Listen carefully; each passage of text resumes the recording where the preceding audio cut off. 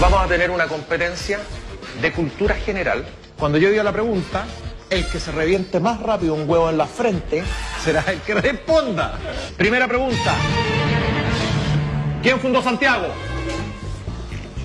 Enzo. Valdivia. ¿Cuántas caras tiene un cuadrado? Ah, momento. Acá, acá. Compadre, es el que se... Cálmate. ¿Qué te pasó? No tenéis que meter la cabeza al frasco. ¿Qué metiste? Con la cabeza.